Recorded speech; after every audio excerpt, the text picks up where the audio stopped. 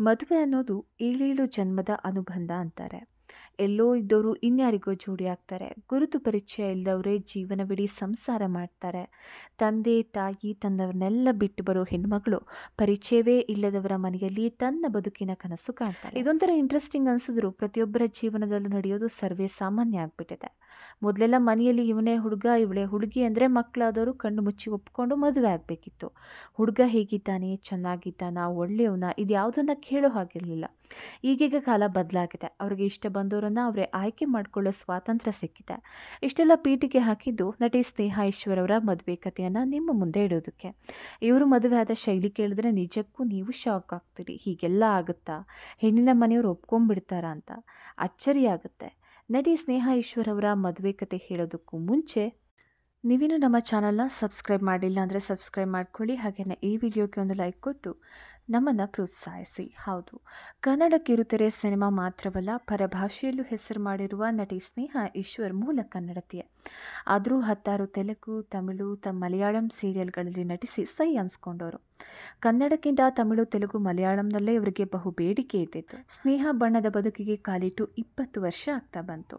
ಇಪ್ಪತ್ತು ವರ್ಷ ಅಂದರೆ ಸಾಮಾನ್ಯ ಮಾತಲ್ಲ ಬಿಡಿ. ಈಗೆಲ್ಲ ಒಂದು ಅಥವಾ ಎರಡು ಸೀರಿಯಲ್ ಸಿನಿಮಾ ಮಾಡಿದ ತಕ್ಷಣವೇ ಅವರ ಬಣ್ಣದ ಬದುಕು ಅಂತ್ಯ ಆಗುತ್ತೆ ಅವರ ಅವಕಾಶದ ಬಾಗಿಲುಗಳು ಮುಚ್ಚಿದಂತಾಗುತ್ತೆ. ಆದರೆ ಸ್ನೇಹ ಅವರು ಈ ಬಣ್ಣದ ಲೋಕದಲ್ಲಿ ಇಪ್ಪತ್ತು ವರ್ಷ ಕಂಪ್ಲೀಟ್ ಮಾಡಿದ್ದಾರೆ ಅಂದರೆ ನಿಜಕ್ಕೂ ಗ್ರೇಟ್. ಇದು ಹತ್ತೊಂಬತ್ತು ವರ್ಷದ ಹಿಂದಿನ ಕತೆ. ಆಗ ಸ್ನೇಹ ತಮಿಳಿನ ಸೀರಿಯಲ್ ಒಂದರಲ್ಲಿ ನಟನೆ ಮಾಡ್ತಾ ಇದ್ರು.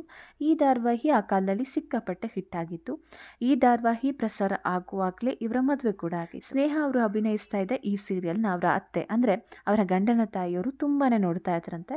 ಒಂದೇ ಒಂದು ದಿನ ಮಿಸ್ ಮಾಡ್ದೆ ಸೀರಿಯಲ್ ನೋಡ್ತಾ ಇದ್ರು. ಮಗನಿಗೆ ರಜಾ ಇದ್ದಾಗ ತಾಯಿ ಜೊತೆ ಸೀರಿಯಲ್ ನೋಡ್ತಾ ಇದ್ರು. ಅಮ್ಮನ ಜೊತೆ ಸೇರಿ ಸೀರಿಯಲ್ ನೋಡಿ ಮಗನಿಗೂ ಕೂಡ ಸೀರಿಯಲ್ ಹುಚ್ಚು ಶುರುವಾಗಿತ್ತು. ಇದೇ ಟೈಮ್ನಲ್ಲಿ ಮಗನಿಗೆ ಮದುವೆ ಮಾಡಬೇಕು ಅಂತ ಮನೆಯಲ್ಲಿ ಹಠ ಮಾಡ್ತಾರೆ. ಹಲವು ಹುಡುಗಿ ಫೋಟೋಗಳು ತೋರಿಸಿದ್ದಾಯಿತು. ಹಲವು ಕಡೆ ಹುಡುಗಿ ನೋಡೋದಕ್ಕೂ ಹೋಗಿದ್ದಾಯಿತು. ಯಾವ ಹುಡುಗಿನೂ ಕೂಡ ಇಷ್ಟ ಆಗೋದಿಲ್ಲ. ಅಮ್ಮನ ಕಾಟದಿಂದ ಹೇಗೆ ತಪ್ಪಿಸ್ಕೋಬೇಕು ಅನ್ನೋದು ಮಗನಿಗೆ ಗೊತ್ತಾಗದಂತೆ ಆಗೋಗುತ್ತೆ. ಹೀಗೆ ಒಂದಿನ ಸೀರಿಯಲ್ ನೋಡ್ತಿದ್ದಾಗ ಮದುವೆ ವಿಷಯ ಪ್ರಸ್ತಾಪ ಆಗುತ್ತೆ. ಆಗ ಟಿ ವಿಯಲ್ಲಿ ಬರ್ತಾ ಇದ್ದಂಥ ಹುಡುಗಿಯನ್ನು ತೋರಿಸ್ಬಿಟ್ಟು, ಇವಳು ಹಾಗಿದ್ದರೆ ಮದುವೆ ಆಗ್ತೀನಿ ಅಂತಾರೆ. ಆಗ ಸ್ನೇಹ ಅವರನ್ನು ತೋರಿಸಿರ್ತಾರೆ. ತಾಯಿಯ ಮನಸ್ಸಲ್ಲಿ ಒಂದಷ್ಟು ಆಸೆಗಳು ಚಿಗುರುಡಿಯುತ್ತೆ ಹಿಂದೆಲ್ಲ ಹೇಗಿತ್ತು ಅಂದರೆ, ಸೀರಿಯಲ್ ಮುಗಿಯೋ ಟೈಮ್ಗೆ ಅಡ್ರೆಸ್ ಜೊತೆ ಫೋನ್ ನಂಬರ್ ಹಾಕ್ತಾಯಿದ್ರು ಈ ನಂಬರ್ನ ಕಲೆಕ್ಟ್ ಮಾಡಿಕೊಂಡು ಫೋನ್ ಮಾಡಿ ಸ್ನೇಹ ಅವರ ನಂಬರ್ ಬೇಕು ಅಂತ ಕೇಳ್ತಾರೆ.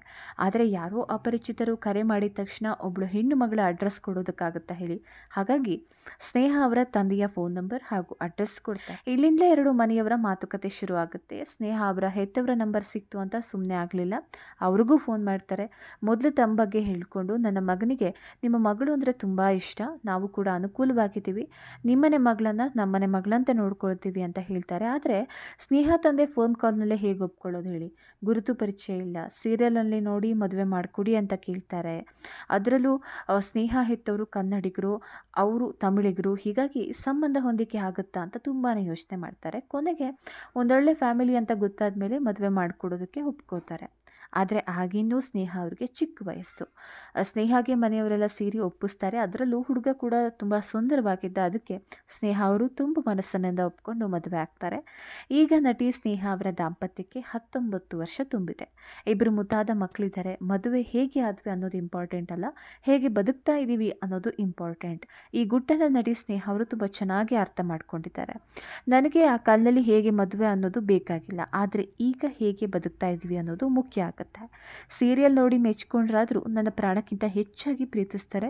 ಬಹುಶಃ ಹೆತ್ತವರೇ ಹುಡುಕಿದ್ರು ಇಂತಹ ಒಳ್ಳೆ ಗಂಡ ಸಿಕ್ತಿದ್ರೋ ಇಲ್ವೋ ಗೊತ್ತಿಲ್ಲ ಅಂತ ಸ್ವತಃ ಸ್ನೇಹ ಅವರೇ ಹೇಳ್ಕೊಂಡಿದ್ದಾರೆ. ಇದರಲ್ಲೇ ಗೊತ್ತಾಗುತ್ತೆ, ಸ್ನೇಹ ಅವರ ಸಂಸಾರ ಅದೆಷ್ಟು ಅನ್ಯೋನ್ಯವಾಗಿದೆ ಅಂತ.